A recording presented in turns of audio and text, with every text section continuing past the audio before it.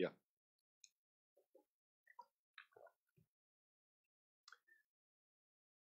Hey, good evening. It's good to be back at Cedar Grove this uh, Wednesday night, and uh, we want to welcome those that's online and those that's in here with us. And uh, we just pray that uh, uh, God will use our time together tonight to help us to to uh, be more Christ-like.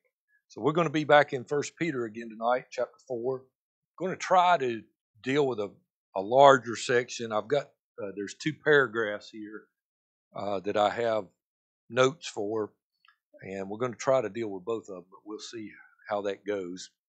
So, starting in verse 1, chapter 4, verse 1, it says, For, uh, for as much then as Christ has suffered for us in the flesh, arm yourself likewise with the same mind. For he that has suffered in the flesh has ceased from sin, that he no longer should live the, the rest of his time in the flesh to the lust of men, but to the will of God.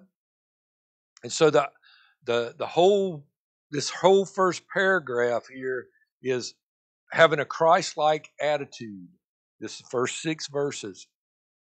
Maintaining proper conduct when we're suffering requires Christians uh, to have the right Christ-like attitude. Uh, a little quote I have here living in the present, in the will, in God's will. Living in the present, in God's will. And so, if we're suffering, and we talked about this a little bit last week and the week before, but if we're suffering, and we're suffering for Christ now, we're not suffering because I'm just a stick in the mud or I'm a fuddy duddy or I got my own rules or whatever, but but I'm suffering for the cause of Christ. I'm I'm trying to be Christ-like. I'm I'm I'm conducting myself like He would conduct Himself. I'm being gentle like a dove and wise like a serpent, and and people are still persecuting me or things are still happening to me. Well, when, when that's happening, I can be assured that I'm in God's will, and so I live the present in God's will, and that's that's a that's a that's a hard thing to do. And and the other side of that is knowing that we're going to live in eternity in His presence. So I'm living presently in His will, and I'm going to live eternally in His presence. And so that allows me, that gives me hope, that gives me strength to go through what I, I'm doing verse 1 therefore as much. That's a, that's almost the word therefore. Peter referred back to christ's suffering. It goes all the way back up into into chapter 3 uh, look at verse 18 for christ also had once suffered for sins the just for the unjust that he might bring us to god uh, being put to death in the flesh but quickened in the spirit. All right so he's taking it back up to that and, and we're to apply those principles of having endurance uh, when we're unjustly suffering. All right. He exhorted believers, Peter that is, to arm themselves. Look at verse 1. For in much then as Christ had suffered uh, for us in the flesh, arm yourselves with the same attitude. Look at it. Arm yourselves likewise with the same mind. That word mind there, does anybody have a different translation by chance? That word mind right there is attitude. It's, it's the, the word also means attitude. Let me give you, it's used 83 times in the New Testament in different forms, okay? But uh, in the different forms, it has these meanings or some of these meanings. Resolve, so you, you, you arm yourself with the same resolve you arm yourself with the same purpose. You arm yourself with the same disposition. I think that's really important. Or the same thought. Okay? So when you're having the same mind, that, that all of those words are, are synonyms with that. To, to have the same disposition as Christ had. To, to, to, to, to have the same kind of thought process. Okay? Um, to have that mindset uh, when it comes to, to, suffering. The word translated arm uh, is the same idea of a, uh, of a soldier putting on his armor, the same idea that's over in Ephesians 6. Uh, take to yourself the whole armor of God and to put it on. Uh, when when you we, we were talking prior to turning on the video, when Ukraine was expecting uh, Russia to come into it, how do you think those people prepared themselves? Do you think they said, "Well, you know, I'll put my flip flops on, you know, and uh, you know, I might, I might get me some bullets, I might not." No, they they were diligent. You know, they they took great care. You know, if they had bulletproof vest, I guarantee you they were getting them on. If they had a helmet, they were getting them on. They were taking great care to arm themselves and to equip themselves as they were getting ready to do battle. Okay? Well, we're in a battle too. We're in a spiritual battle. And we're to, to take the same kind of care to arm ourselves. Arm ourselves here in between our ears. We, we don't we don't think about that a lot of times. The, the fights, the struggles we have every day, and if you're like me all day, the struggles that we have are spiritual warfare more times than not. It's it's it's the things are happening and just bombarding us. It's it's it's amazing how it's amazing how it seems like every human being that cannot drive an automobile gets in front of me. And and and it's it's like you're riding down. Well, Anita and I uh, this this afternoon we were getting ready to go get something to eat, and I pulled up to the end of the road, and I started out, and there's a car coming you can't see coming out of our road. There's a car coming out of the curve. and as the car coming out of the curve, I just stopped and backed up. Well, it took the car 30 minutes to get by us. I mean, it was Fred Flintstone, you know. And so then we pull out, we're behind them all the way up to Asheboro, you know. And, and it just seems like, and you say, well, that's not spiritual. Yeah, it is because Satan knows that's one of the things that just drives me ape.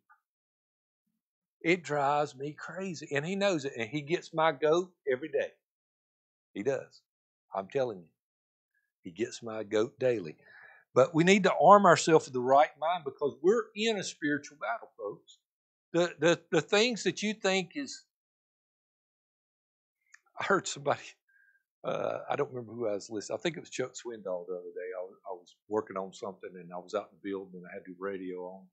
And he said, You can control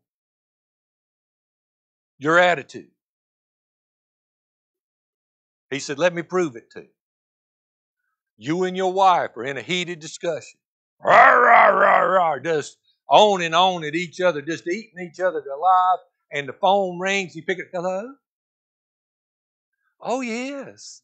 Yes, that's lovely. And then you put the phone down and it's right back, rah, rah, rah. We can control that. And we need to understand, we need to understand that day to day routine. That day to day routine that we go through.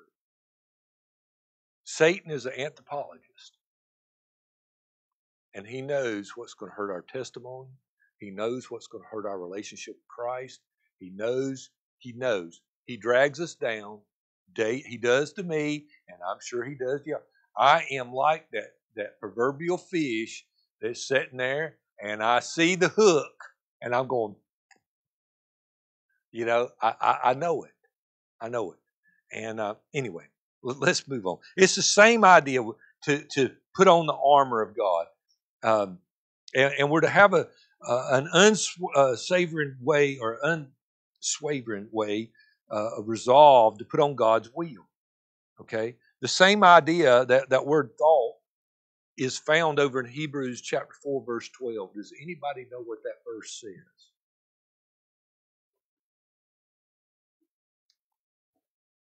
Let's go look at it. Hebrews 4, verse 12. It's the same the, the same words used over here. It's just one book back or two books back. Are you there?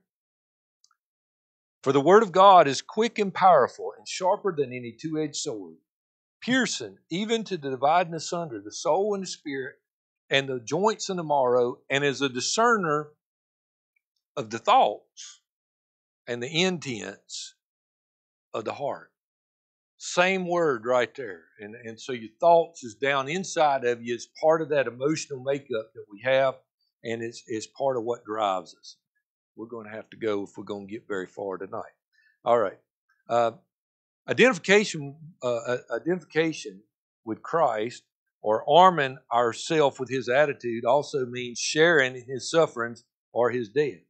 Christ suffered in his body, and a believer suffers in his body also. Um, so, so let me ask you. We've all talked about people being sick and hurt in our in our immediate family or in our, our little realm of, of influence tonight.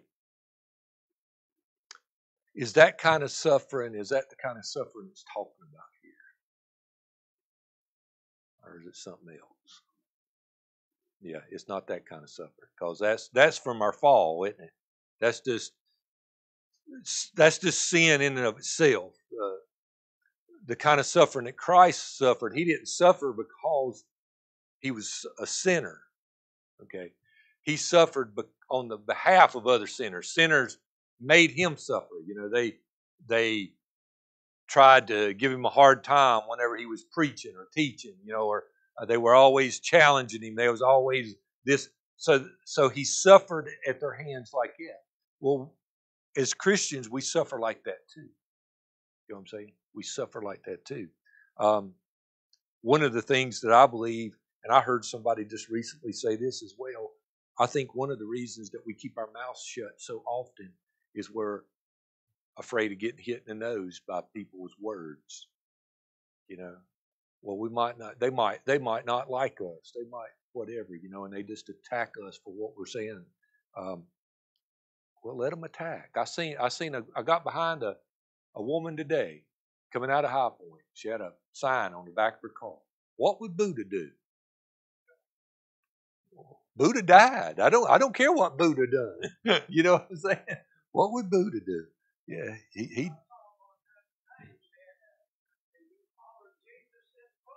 but that's pretty good. Most of them say no. um, this idea of suffering, we actually dealt with it back in Romans. Uh, our, well, we dealt with it a little bit in Romans 8 last week, uh, this past Sunday, but we'll deal with it even uh, greater this coming Sunday. Uh, if I can get over there, I will share with you Romans 8. Hmm. And uh, uh, in verse 17, Romans 8 17, it says, If children, then heirs, heirs of God, and joint heirs with Christ, if so be that we suffer with him, that we may also be glorified together with him. And in verse 18, this is where we'll be this coming Sunday. For I reckon that the sufferings of this present time are not worthy to be compared to the glory uh, which shall be revealed in us. So, what kind of sufferings did Paul have? And Paul wrote that. What kind of sufferings was he talking about? Well, I was beat with rods. I was, I was, I was imprisoned. I was beat with whips. You know, uh, I was stoned. At least one time he was stoned. I think he was stoned twice. But uh, uh, so he he didn't get stoned because he was a Republican or a Democrat. He he got he got stoned because he was a Christian, a Christ follower. You see, and so that's that's what it's talking about over here with Peter. Is is uh, we're going to suffer. So so look at the verse again. Look at chapter 4, verse 1 and verse 2. Uh, for as much then as Christ had suffered for us in the flesh, arm yourself likewise with the same mind that we're what? We're, we're willing to suffer for him and for each other. For he that has suffered in the flesh has ceased from sin. Now, does that mean I quit sinning? No. What did we talk about Sunday? You know, I think it was Sunday. Maybe it was two Sundays ago. Um, we're we're saved from how many sins? Right, right.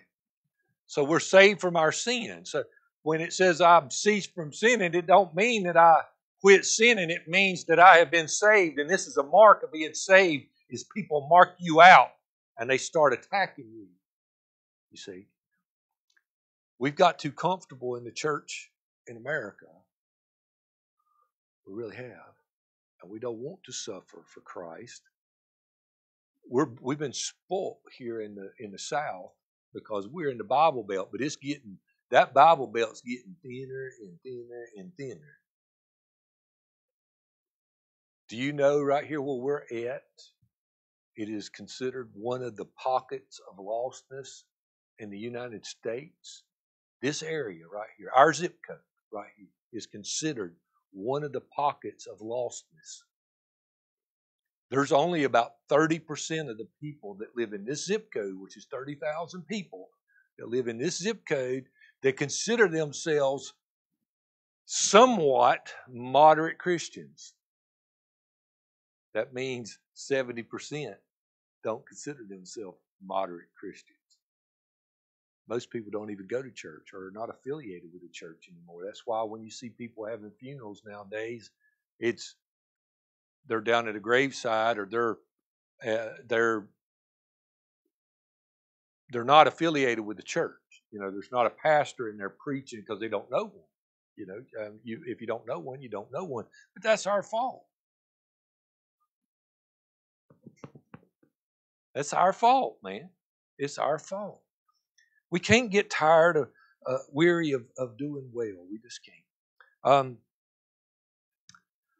oh, me. Um, let's look at verse 2.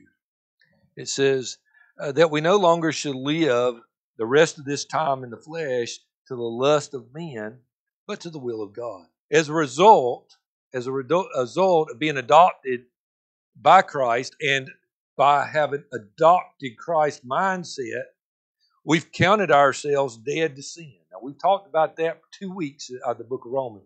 Uh, we, we counted ourselves dead to sin. We've died to sin. We've died to sin in Christ. But we live the rest of our lives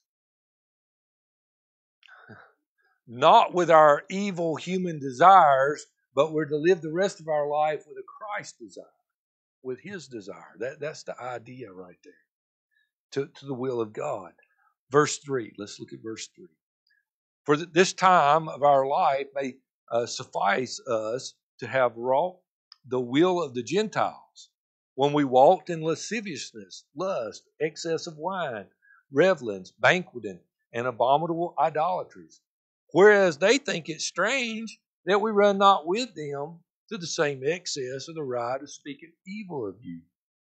So, verse 3 uh, in, in our past life, our, our old habits, uh, as, as Paul, as Peter, excuse me, is, is stressing here, our old habits, uh, we did what pagans did because we were a pagan. We chose that kind of lifestyle. We wasted years, and I'm going to tell you, you're looking at somebody that wasted a lot of his years, okay, and a lot of his energy, and a lot of his time, a lot of his money, a lot of his health. You're, you're looking at somebody. We wasted our time on debauchery, on lust, on drunkenness, on orgies, carousing, and idolatry. That's what the words actually are right and uh, this this this exhortation should have a strong impact on us as Christians uh, who used to live in gross sin. You know, oh, I'm I'm going to get in trouble right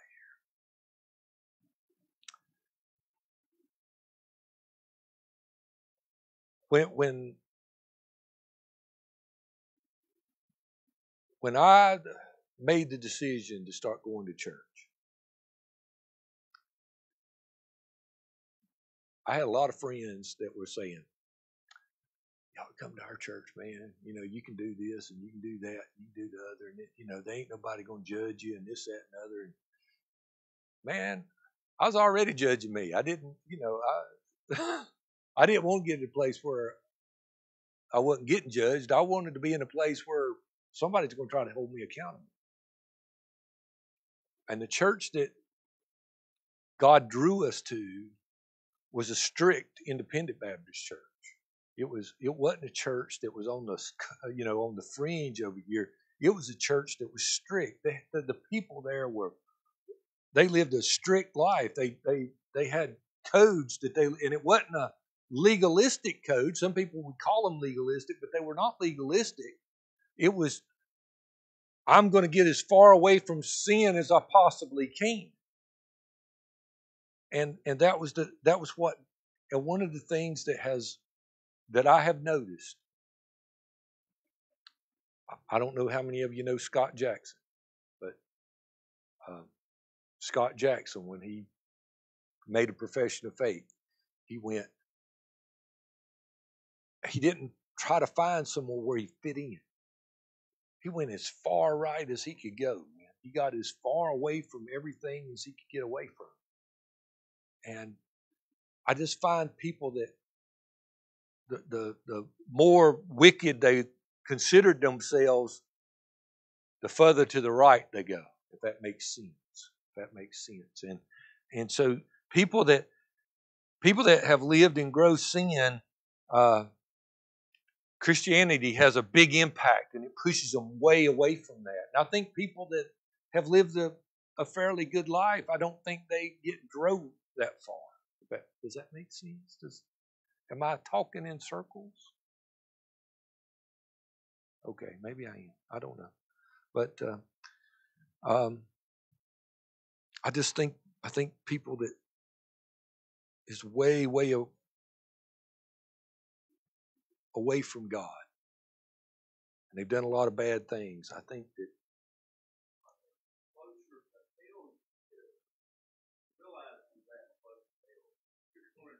Right. Right. I, I, think so too. I think it's I want to get away from it as much as I can. I know all these things influence me, you know. Uh, we pick a lot in here about music, and uh, you know I'm not going to bash you about whatever kind of music you you listen to. I know there's people that do, but uh, but music influences you, whether you want to believe that or not, uh, for good or bad.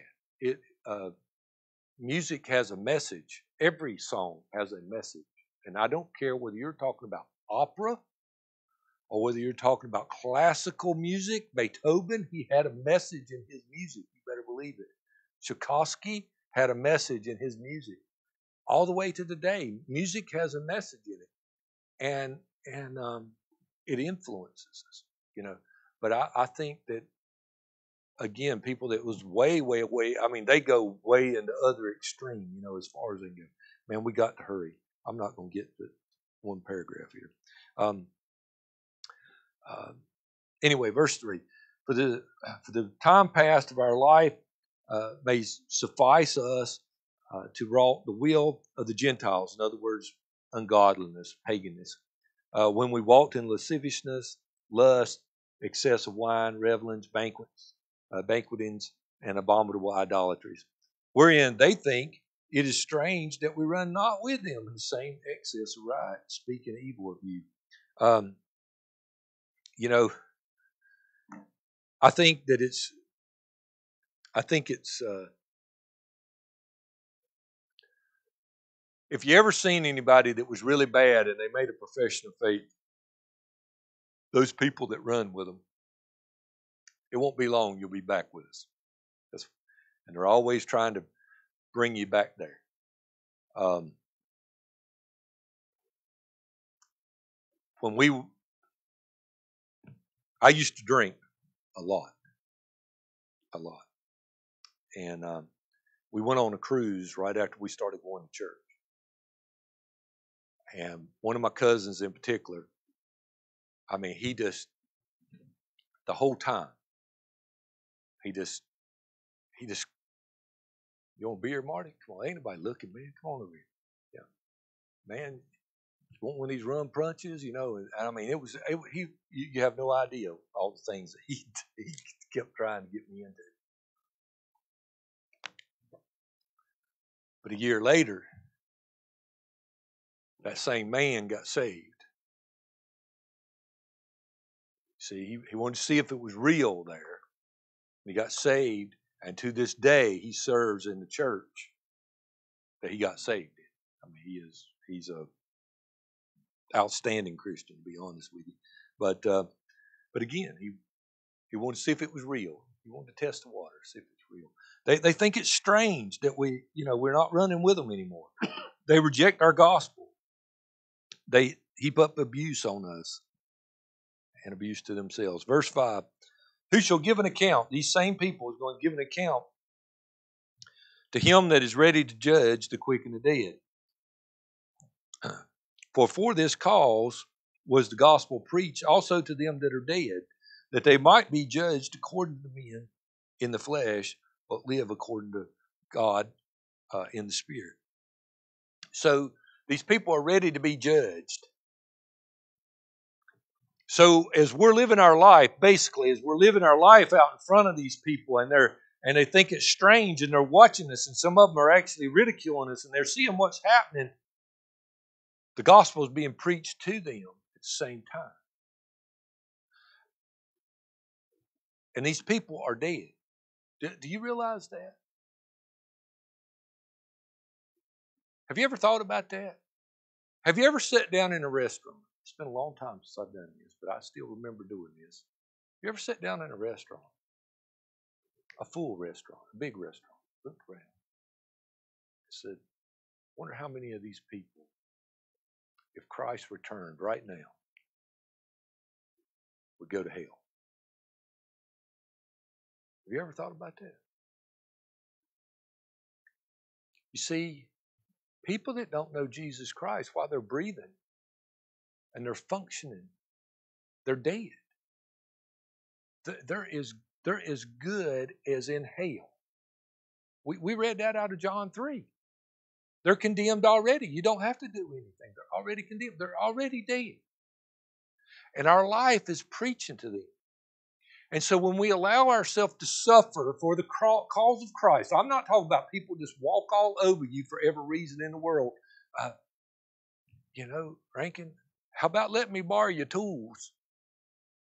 Well, you know the, the sorry joker is going to go up here and sell them at, at the end of Kivett Street up there, you know. I mean, he, he you know it. He's done it to you before. Well, you don't you don't just oh okay, it's all right. This time you you got to judge people by what they've done in the past to you too, okay? That's not what I'm talking about. That's not suffering for the cause of Christ. That's just being ignorant. okay? That's just being ignorant. Uh, uh, suffering for the cause of Christ is when people are ridiculing you because of your lifestyle, because of your testimony. I really want to get into the next part of this thing. Everybody's going to give an account for God. Everybody. Even the people that are now dead, they're going to give an account to God. Now, this is not going back. You know, we we we dealt with chap the end of chapter three last week, and you know, again that that misinterpretation of going down into the uh, hell and preaching and giving these people a second opportunity. That's not the that's not what it's talking about here. It's talking about preaching to those that are presently presently dying, those that are presently dead. Okay, so we got to put it in the right place. Man, Let's deal with verse 7 and and we'll stop with there. But this is this is changing this is changing gears. But the end of all things is at hand. Be ye therefore sober and watch unto prayer. Peter gives us three things in this verse right here. And we're going to end with these three things. He gives us a motivation. He says, To the end of all things is hand. As we talked about earlier, I don't know that what's going on in, in Ukraine and Russia is leading us up to the rapture of the church, but it definitely is a piece of the puzzle that could be going into place that will open the door for future events to take place. Let me say this God is supernatural, is He not? He can do anything He chooses to do, can He not? He can do miracles, right? The miracle of speaking the universe into existence. In six days, He created all that is seen by mankind. Okay, everything. In six days, literal 24 hour days, and He didn't even need all that. Okay, He, did, he just did that so we could have a pattern to go by. He did the miracle of the flood. He he he did the miracle of um, Sarah having a baby at 90 years old. The miracles in Egypt. The miracles of the virgin birth. The miracles that Jesus did through the power of God, because He is God, uh, during His life here on earth. The fact that He was resurrected. God can do miracles, okay? I believe that. But God chooses more times than not to work inside of the natural laws that He has bound this universe with. And do you know what that does? That gives Him more glory because He's bringing things about in a natural way. Okay? Let me just ride with me just a second here. My kids are at home. I get my belt out and I get a I get a stick and a yardstick and, and I just I just beat them and beat them and beat them. Clean up this house. Clean up this house. And I just around and I'm just beating them every which way. Well, I'm bigger than they are. And they're going to get tired of getting spanked. They're going to clean up the house. Well, what does that prove? It just proves I got power. Okay? But if my kids get off the school bus and they say it would please our parents if we clean up, we clean up the kitchen, we vacuum the floor or whatever because they've asked us to do that. And they do that because I've asked them to do that. That shows a whole lot more about my parenting skills and a whole more a whole lot more about my children's love towards me and their respect towards me. Well, when God brings things about in a natural way, it shows that he is in control because he spoke it 3,000 years ago. Okay? More times than not, he brings things about in a natural way. And so this could, what's going on over there with Russia and Ukraine, and, and if you've seen this, they're talking about um, Moldova now, and and I mean, there's there's a whole lot of other stuff on the table over there right now, and it would it would allow the bear to have that peninsula to go right over into the Middle East uh, again. And I know they've had it in the past, but I'm, I'm saying again. All right. But even at that, the motivation should be the time is at hand, the end time is at hand. And if you believe like I believe, we got to say there's just there can't be much more time left with all of the perversion going on, all of the perversion of God's word, all of the things that we see. I don't believe we're seeing prophecy fulfilled before our eyes, but we actually are. We're seeing all the pieces being put into place. It ought to motivate us. Second, it says, be sober. Verse 7. The end of all things is at hand. Be you therefore sober. That's a mindset. We need to think soberly. It don't mean that I, I'm, I'm not drunk. It means I need to think soberly, like somebody that my mind is clear. And we need to think soberly about the events going on around us. We need to think soberly about the decisions that we need to make, what we're going to do, and that kind of stuff. And then the third thing is this look at verse 7 again.